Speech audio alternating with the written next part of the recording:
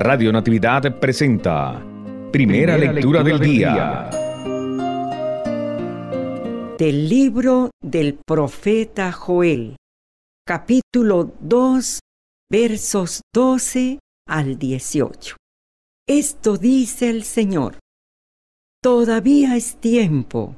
Vuélvanse a mí de todo corazón, con ayunos, con lágrimas y llanto. Enluten su corazón y no sus vestidos.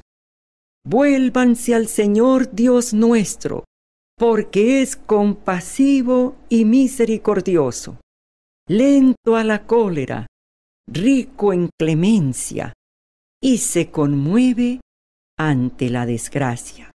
Quizás se arrepienta, se compadezca de nosotros y nos deje una bendición que haga posibles las ofrendas y libaciones al Señor nuestro Dios.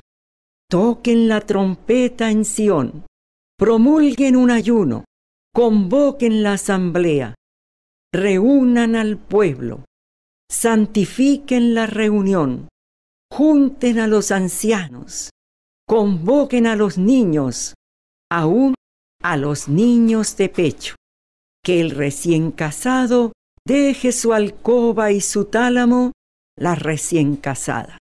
Entre el vestíbulo y el altar lloren los sacerdotes, ministros del Señor, diciendo, Perdona, Señor, perdona a tu pueblo.